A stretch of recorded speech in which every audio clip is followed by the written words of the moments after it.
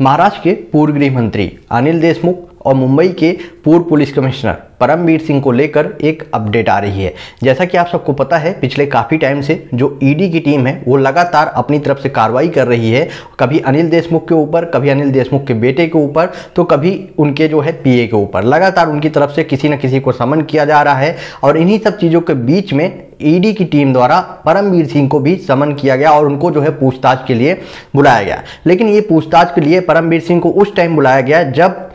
जो ईडी की टीम है उन्होंने कुंदन शिंदे और संजीव पांडे जो कि पीए हैं, वो भी अनिल देशमुख के। इनसे पूछताछ किया, इनको गिरफ़्तार करने के बाद जब उनसे कई बड़े खुलासे किए गए, उसके बाद जो है ईडी ने समन किया था, वो भी परमवीर सिंह को। अब इन्हीं सब चीज़ों को देखते हुए परमवीर सिंह की तरफ़ से एक रिप्लाई आया है, जहाँ पर इंडिया टुडे की तरफ़ से अभी जो न्यूज़ छपी है, जिसमें बताया जा रहा है कि सोर्सों से अपडेट मिली है, जिसमें कंफर्म किया गया है कि जो परमवीर सिंह हैं, उन्होंने रिप्लाई किया है और बोला है कि मैं ईडी ऑफ़िस आने के लिए रेडी हूँ मतलब मुझे कोई प्रॉब्लम नहीं है, लेकिन अभी मेरी, जैसा कि कुछ दिन पहले भी पता चला था कि जो परमवीर सिंह है, उनकी कुछ हेल्थ से रिलेटेड कुछ इशू है, उनकी कोई सर्जरी हुई है और वो चंडीगढ़ हॉस्पिटल में है तो वो अपनी लीव बढ़ाने के लिए महाराष्ट्र गवर्नमेंट को एक लेटर लिखे थे। सेम यही चीज़ यहाँ पर भी आया है, जहाँ पर परमवीर सिंह के द्वारा सीधा सीधा बोला गया है कि उनकी जो हेल्थ है अभी सही नहीं है और वो अभी अभी एक सर्जरी से होकर गुजरे हुए हैं तो अभी वो ईडी ऑफ़िस नहीं आ सकते। लेकिन हाँ उनको थोड़ा दिन के लिए टाइम दिया जाए,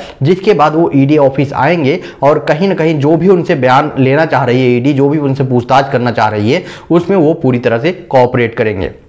आपको बता दूँ कि ये परमवीर सिंह का जो बयान है, वो बहुत ही ज़्यादा मायने रखता है, क्योंकि कहीं ना कहीं जो परमवीर सिंह हैं, उन्होंने ही सबसे पहले अनिल देशमुख का नाम लिया था, जहाँ पर उनके द्वारा एक लेटर लिख के उद्धव ठाकरे जी को सीधा सीधा बोला गया था कि अनिल देशमुख के कहने पे ही सचिन वजह जो है, सौ करोड़ रुपए की वसूली करता था, जिसमें पहली बार जब किसी के द्वारा खुलासा किया गया था तो वो है परमवीर सिंह और उन्हीं के कहने पर, उन्हीं के द्वारा रिक्वेस्ट करने के बाद धीरे धीरे ये केस इतना तेज़ी से बढ़ा कि इसमें सीबीआई और ईडी दो के दोनों दोनों टीमें जो है आज छानबीन कर रही हैं। तो कहीं ना कहीं से इन सब चीज़ों से जो अनिल देशमुख हैं, उनको बहुत ही बड़ा झटका लगा होगा कि परमवीर सिंह जो है, वो अब भी, अभी भी जो है ईडी को सपोर्ट करने के लिए बात कर रहे हैं कि वो इस चीज़ से भाग नहीं रहे हैं। जैसे कि अनिल देशमुख सुप्रीम कोर्ट पहुँच गए, उनके बेटे भी सुप्रीम कोर्ट पहुँच गए ईडी के खिलाफ, लेकिन वहीं जब बात की जाए परमवीर सिंह की तो परमवीर सिंह जो है ईडी से भागने के बजाय वो ईडी को सपोर्ट कर रहे हैं, जो कहीं ना कहीं से अनिल देशमुख को झटका ज़रूर लगा होगा। आपका क्या ओपिनियन है?